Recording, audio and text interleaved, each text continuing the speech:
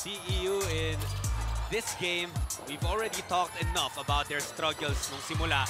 Pero ito si Tyro Chan ang nagbigay ng buhay sa kanila, a new, a new lease on life. And everything followed para sa kanila, Charles. Yeah, he's been solid for them. Even in this half already, uh, he's gotten free throws, hit a jumper.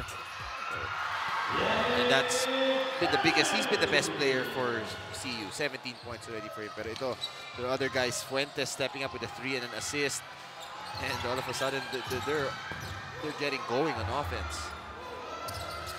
Even with that bucket mula kay Eli, labing tatlo pa rin ang lamang. And Chan still aggressive, getting fouled. I thought he was going to lob it up to Diouf. Diouf was saying the same thing. Hey, drop pass. I would have stuffed it in his face, but he gets to the free throw line and draws the fourth foul anyways on uh, Eli. Mahirap din kasi kay Eli, wala siya gaanong katulong underneath. May mga big men in Pegaso, in Lalata, in Jeronimo, but siya at siya ang kailangan Yes. mga dumipensa kapag ganyan makaka-atake yung mga players ng CEU like Chan. He just has to be very careful. Can't pick up his fifth foul. They need him in this game. They're down by 15 right now. Despite him having four fouls, hindi pa rin nilabas ni Coach Mike Sagudo. Has to be an eight-second violation there. That's a good call from our referees. And even better defense played by Christian Uri. And I like what CU's doing. They're not letting Almaheda be the one to bring down the ball. They're denying him, letting a guy like Castro, whose handles aren't as good, as kasi dos talaga yan, let him bring down the ball and putting pressure on him. And he struggled. Ooh, nice pass. And there it is, Diop. It's too easy for him. It's too easy. Good pass also by Caballero sa inbound. At yung kaninang galit, kunot ng noo ni Diop, napalitan na niyang ngiting yan. And that's because he had a huge, huge dunk earlier. Ngayon naman, pakiramdam niya, inaisahan niya. And look at Chan again, drawing the foul on Jeronimo, who did not box oh, him out. So Chan will go to the free throw line and maybe get his 20th plus points because he already has 19. So for me now, for Diouf, you have three fouls. Be smart. It's a must not to pick up a foul and maybe the two, three more minutes that you'll play in this quarter. Just give Manong Derek some time to, to leave you in the game. And if you're up by this much entering the fourth, I think you should learn from your mistakes. But if you're Olivares, you're not in rhythm at all.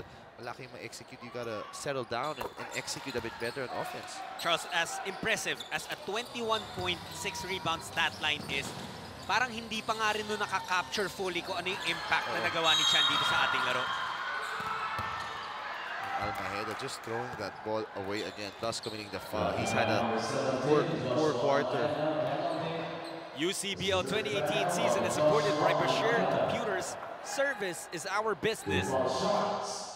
Penalty na ang magkabilang koponan and that's why dun sa loose ball foul ni Almaheda. Diop heads the free throw line. Kanina nagmintes, now makes up for that. Ang, ang haba kasi ni Diouf eh. Hindi pwede lazy pass sa big man mo. Kala mo nakaseal na yung big man mo nakapwesto. But if Diouf reaches over the top of him and stretches his arms, uh, it- it's really long, so it's very hard as... Ooh, Fuentes almost stealing that rebound out of nowhere. But you have to be careful with your pass. Don't throw lob passes against Diouf. Bounce pass. 20-point lead already para sa CEU. It's the largest of this game. They were down by 10 earlier in the first period.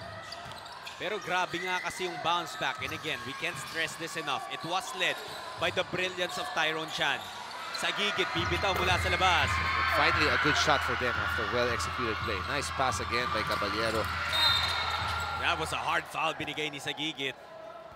Referee saw that the intention really was just to stop what would have been an easy layup ni Uri. Kaya regular foul lang naman. Christian Uri pupunta sa free throw line. And Caballero has done such a good job facilitating as the point guard. So for Olivares, after just six turnovers in the entire first half, they already have four in the first five minutes of this quarter. That's not, that's not a good way to start the half. And also, Charles, when it comes to the free throws, netong Oliva uh, ng CEU, these are attempts number 12 and 13 in the quarter alone with 4 and 50 remaining. As a total, 26th and 27th free throws of the game para sa Scorpions. Yeah, you have to strike a balance between how physical you want to play. You can push the limits, but see how the referees are calling it. If not, kayo na dapat mag-adjust. Nice move by Lalata. Ooh, still can't get it to drop. He's just had an off game. Those are the shots na usually pumapasok para sa kanya. Yan yung mga tira na nagpasakit ng ulo Oo. ng CEU when they first met. Pero tulad Oh. nga na sabi mo, ayaw. May headbutt pa si Lalata dun. eh.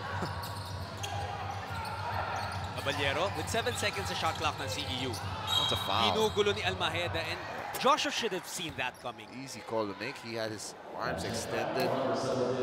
Diouf asking the rest. That's what I saw. I saw there was a headbutt by Lalata on him on the post. Pasimpleng headbutt. Hindi naman solid, pero mga ganun, hindi ko magets ba't nila ginagawa, eh, no? Na masakit pa, Almaheda has been the most impressive Yes. player dito sa sa Olivares in this game. He commits his fourth foul and he obviously has to sit down. Sayang kasi siya nga, he has 12 points and 5 assists.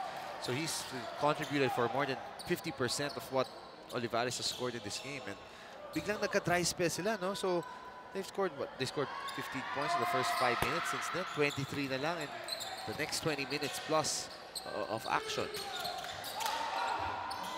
It has been a crazy run mula sa panig ng Olivares. Na ng CEU rather. Crazy drought on the side of the Sea Lions. Nalata bigay kay Castro. Paolo. Oh, set idea. back by the off, and he wags that finger. Says, nope, not today. And then he taps him at the back. Good try. So, so nice to have a big guy like you protecting the paint. Ooh. Fuentes slipped opening the lane pero hindi pa rin makapasok ng tira ang Olivares. Alley-oop? Nope. Fuentes takes it strong. No, lalata the rebound. Olivares tumatakbo na naman. Castro bumps in. Couldn't get anything. Tapi ka ng bola. Labas kay Sagigit. Sagigit finally makes a field goal para sa Sea Lions. Diouf telling Caballero, settle down lang tayo. Lamang naman tayo ng 21. But I thought Fuentes had a lob to Diouf. Didn't want to pass him the ball. Sayang, no? Could have been another crazy throwdown. Ito pumunta sila kay Diouf. Did you see how he made that pass to over the head of Lalata? Kahit na-pick up na dribble dahil ang laki niya, he can escape. Lalata with that jumper. Well, that's a much better attempt for him. Kasi yung mga mas madadaling layup, ayaw ma-shoot Oo. eh. Siguro na ilang talaga siya nung nandun si Diouf. Watch out doon sa mga banggaan ni Lalata at Diouf sa ilalim. Yeah, kasi three fouls na siya. He can't afford to pick up his fourth. Fuentes shoots over sa gigit That's a, Mintes. that's a poor shot. When you're up by 19, that's not a shot you need to take. Sala at Castro yung naghahati sa backward duties ngayon para sa Olivares with Almaheda nursing four fouls. Jeronimo, munti ka na mawala bola. He recovers. Castro, not much spacing there. Nag-reset ng atake ang Sea Lions. Dwight sa gigit. Goes to the cup. Pintes. Diouf saves it. Mukhang si Chan is cramping up. Uri finishes the fast break on the other end. Hopefully that's just a crap and not uh, not anything worse, tuhod or, or hamstring or what. They're gonna let Lalata dunk this. They just watched. And it's not a good sign. Hopefully cramps lang yan. Di, di ko alam eh kasi parang above the calf siya nakahawak. Yeah, that's right. Medyo mas nakakatakot yun. And he was trying to hold on to his stance. Pero bumagsak na talaga eh.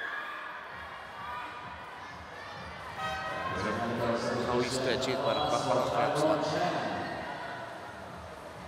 Ang uh, good sign naman, if, if it really is, hindi siya yung shock of pain. Hindi natin nakita yun sa mukha ni Chan. Dahan-dahan niyang naramdaman yung pain until he had to let go and fall down to the floor. With that dunk mula kay Lalata, bumaba yung kalamangan ng CU but it's still a sturdy 21 points. The timeout is called on the floor. This one is brought to you by Cherry's Grill.